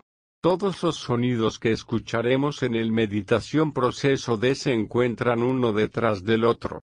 Al menos eso parece. Nuestra experiencia será que escuchamos un sonido, no importa de qué tipo, pero el otro sonido se esconde junto con él. Si miramos un sonido, y será tan fuerte como lo escuchemos o tan fuerte como pongamos nuestra atención en él, cuando ponemos nuestra atención en el sonido detrás de él, el sonido detrás de él se vuelve más fuerte y lo recogemos. De nuevo, ese es un proceso muy selectivo de usar la atención durante la audición del sonido. Voy a profundizar un poco más en esto más adelante cuando hagamos más meditación en la sesión de la tarde. Pero es importante saber cuáles son el tipo de obstáculo que venga en nuestra meditación. Debemos resolverlos a medida que vienen, y no seguir haciendo lo mismo a ciegas para siempre, y no obtener nada y pensar que estamos en el camino espiritual. El camino espiritual es un camino experiencial. Es una experiencia, es un entrenamiento como cualquier otro entrenamiento. Si no progresas, fracasas. No puedes estar estático en un programa de entrenamiento. Por lo tanto, el camino espiritual debe tener un progreso constante, día a día, un progreso mensurable, para que sienta que ha dado un paso adelante. Por supuesto, existe un cierto fenómeno llamado el fenómeno de arriba, y abajo el fenómeno up and down se crea debido a nuestra pralabd, nuestro destino, que cuando el destino se construye a partir de una vida humana, consistirá en partes buenas y partes bajas, partes altas y partes bajas. En los altos, lo pasamos bien, disfrutamos. En los malos tiempos, estamos tristes, sufriendo, enfermos, sucede algo más. Lo bueno y lo malo se alternan en la vida. Y eso es, siguen la curva sinusoidal. La gente ha podido usar diagramas para mostrar cómo funcionan estos biorritmos en nosotros y si quieres aprender sobre los biorritmos, Mark puede darte varios tipos de biorritmos, incluso más de lo que yo sabía, que esos biorritmos controlan nuestra vida. Desde el punto de nacimiento, esos ciclos, arriba y abajo, trabajan en una curva sinusoidal. La curva sinusoidal significa a veces ir por encima del eje de la normalidad, luego bajar, luego subir y luego bajar. La vida se basa así. Todos los eventos se organizan así. Por lo tanto, a veces somos felices y a veces no somos felices. A veces somos más felices, a veces somos menos felices. A veces sentimos que esa persona siempre está feliz, porque no la conocemos. A veces la gente piensa que esa persona es muy feliz, mira a esa pareja tan hermosa. Ve y quédate en su casa durante tres días, descubrirás la infelicidad. Por lo tanto, todos estamos felices e infelices. ¿Por qué tenemos esta combinación? ¿Por qué no podríamos tener una vida llena de felicidad? O, si tenemos que sufrir a través de él, como dice Buda, hemos venido aquí para sufrir. Si hemos venido para sufrir, deberíamos sufrir todo el tiempo. ¿Cómo podemos tener algunos momentos de gran alegría y felicidad y encontrarnos con buenos amigos, y tener una gran compañía y una fiesta? ¿Cómo podemos tener eso? La razón es simple.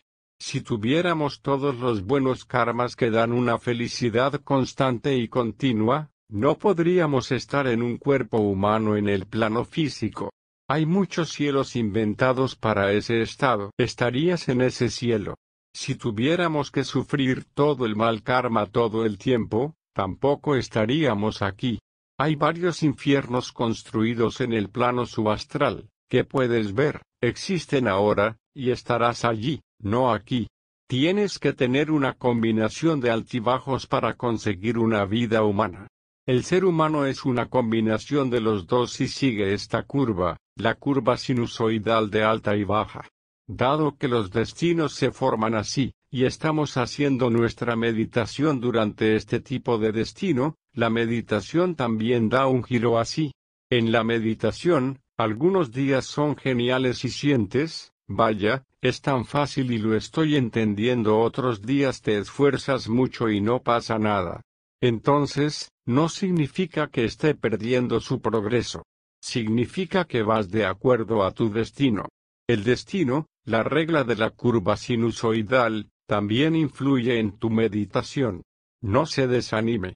Pero hay una forma de comprobar el progreso, a pesar de este hecho, a pesar del hecho de que la curva sinusoidal que funciona así, arriba y abajo, arriba y abajo, en un solo eje de lo normal, ahora estamos altos, ahora estamos bajos, ahora estamos altos, ahora estamos bajos, ahora nuestra meditación fue genial, ahora no es tan grandiosa, ahora es muy buena, ahora no es tan buena, continúa. Si el eje sigue siendo el mismo, nunca progresaríamos. El progreso es cuando el eje comienza a moverse hacia arriba. Luego vamos alto, bajo, alto, bajo, alto, bajo. Eso significa que el máximo es más alto que el anterior. El mínimo es menor que el mínimo anterior. Alto es más alto que el anterior. Bajo nuevamente es menor. Eso es progreso. Todavía hay altos y bajos. Alto y bajo que no puedes evitar. Pero el eje cambia tanto como tu progreso. Por lo tanto, el progreso se puede medir, incluso a pesar de que a veces piensas que es bueno, a veces piensas que es malo. Pero si el bien es mejor que el bien anterior, estás progresando. Si lo malo es menos malo que el anterior, estás progresando. Entonces, recuerde este hecho porque a veces la gente no entiende, ¿estoy perdiendo mi progreso? ¿No me está yendo constantemente bien en mi meditación? Lo estás haciendo constantemente bien. Pero la meditación también se coloca, junto con otras cosas, junto con otras experiencias, en el destino de la vida. Por eso sucede esto. Me gustaría dejar unos minutos ahora para algunas preguntas si las tiene.